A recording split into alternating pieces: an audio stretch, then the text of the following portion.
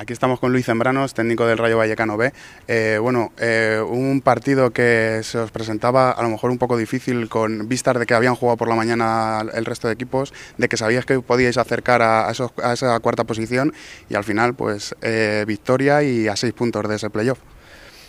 Sí, bueno, la verdad es que las distancias son sustanciales y llevamos una racha espectacular 10 partidos sin perder, eh, muchos partidos 5 o 6 portería cero, o sea, llevamos una racha en una medida que, que bueno, pues ese inicio de campeonato donde, bueno, pues es el periodo de adaptación de mucha gente joven, de mucha gente, de muchos jugadores que vienen de categoría juvenil y competir en tercera división, pues, pues eh, hay diferencia y, bueno, pues encantado de que, de que ese periodo de adaptación pues lo hayan acortado lo máximo posible, que lleguemos a estas alturas de competición con máximas expectativas y yo creo que pase lo que pase la temporada del equipo es espectacular. Me hablabas anteriormente de eso, ¿no? que al final eh, siempre un filial eh, los primeros meses tiene ese periodo de adaptación. Eh, pronto se, se, adaptaron este Rayo Vallecano B a lo que es la tercera división y dado de eso la dinámica que lleva el equipo, que ahora mismo posiblemente en estas últimas 10 jornadas es el que más puntos está consiguiendo. Sí, la verdad es que bueno, yo creo que nosotros y Móstoles, eh, que lleva 17 partidos sin perder, es una brutalidad eh, para, para, lo que es la categoría, con la igualdad que hay, con la competencia, con, con el nivel de los rivales y, bueno, pues para nosotros también mantener eh, ese ritmo como llevamos en estos últimos más de dos meses ya, pues para nosotros es importante. Pero bueno, al final lo importante para nosotros es que los jugadores sigan creciendo, sigan mejorando, sigan bueno, pues, sus aspectos técnicos, tácticos y, sus experiencias pues, pues sigan en esa evolución y bueno, pues encantado de que aparte de todo eso pues sigamos compitiendo hasta el último partido. Con respecto al partido, eh, empezáis la, tanto la primera como la segunda parte muy bien, eh, anotando un gol en los primeros cinco minutos. Eh, me imagino que esa intensidad en esos primeros minutos hace que sea muy difícil jugarle a este Rayo Vallecano. Sí, yo creo que sobre todo la primera parte hemos empezado muy fuerte y al final eh, es importante que, bueno, pues eh, ha debutado Icano, que llevamos me parece 28 jugadores durante la temporada, 8 creo que 8 en edad juvenil que han debutado, o sea, la verdad es que es una plantilla muy joven, con esa falta de experiencia, pero también con ese desparpajo, con esa ambición, con esa mentalidad, con esas ganas de, tener y de crecer en este, en esta, bueno, pues en el Rayo y, en esta competición que les toca ahora jugar. Y bueno, pues la verdad es que el partido, yo creo que hemos hecho lo que debíamos, hemos estado serios, hemos mantenido y les hemos concedido muy pocas opciones eh, a ellos y bueno, pues las que hemos, hemos generado, pues hemos tenido la suerte de, eh, de, materializar esas dos al principio de ambas partes y bueno, pues ha sido una manera de encarrilar el partido importante porque al final,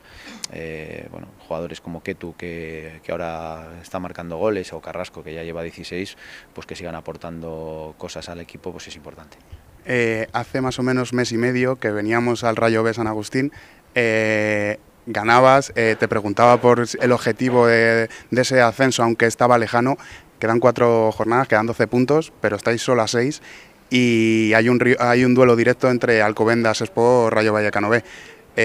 me imagino que todos los jugadores les dices que, que el objetivo es posible, ¿no? Para repetir como el año pasado el playoff. Bueno, yo creo que el objetivo es real, eh, lo tenemos cerca, pero al final la distancia no dependemos solo de nosotros, aunque haya un, duelo directo, tenemos que ser mejores que ellos, ganar ese partido y aparte tienen que fallar en los otros tres partidos por lo menos uno o dos días más. Al final lo que sí no podemos es fallar nosotros, entonces solo, nuestro objetivo solo es el lunes preparar el próximo partido, mentalizarnos que tenemos una salida muy complicada en Alcalá donde tenemos que conseguir los tres puntos sí o sí y bueno pues es un campo grande, césped natural donde yo creo que Alcalá eh, la victoria también de esta mañana es importante, pero que todavía no tiene la salvación matemática, pues nos va a competir como hoy el Santana o como cualquier rival, eh, sobre todo en, Tres Cantos, aunque virtualmente estaba descendido hace dos semanas, nos, exigió mucho, nos complicó mucho el partido y al final es difícil mantener esto, entonces no vamos a pensar nada más que en ese partido porque igual cuando vayamos al Covendas ya no tenemos nada que hacer, entonces nuestro objetivo es pensar solo en el lunes, preparar el partido la semana que viene e intentar ir a Alcalá a ganar el partido. Y la última, y ya te dejo, mister, eh, como te comentaba antes, eh, desde la pasarela tenéis a, un miembro del cuerpo técnico eh, aportando ideas del juego, porque me imagino que también lo ve desde esa, desde esa grúa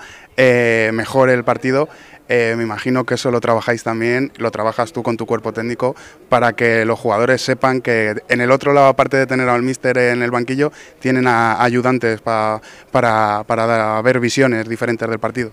Sí, bueno, al final está en muchas acciones más cerca del juego, es parte del cuerpo técnico, está grabando el partido y lógicamente tiene toda la libertad y, todo lo que aporte pues eh, va en la misma línea de trabajo que hacemos diariamente y todo suma. Y somos un grupo de trabajo eh, genial que nos llevamos bien y que bueno pues que todos eh, participamos hablamos y comentamos y, somos parte de, bueno pues de, muchos jugadores que es al final el proceso que intentamos mejorar que cuando analizas un poco la temporada vas un poquito más allá y ya no vas a aspectos globales o a, lo que ha rendido la posición del equipo, sino a individualmente lo que han mejorado muchos jugadores. Muchísimas gracias, Mister. Mucha suerte en Alcalá y, que se recorten esos puntos para que podáis estar en, eh, otra vez por segundo año consecutivo en ese playoff. Gracias a vosotros. Gracias, Luis. Muchas gracias. ¿eh? Gracias por todo.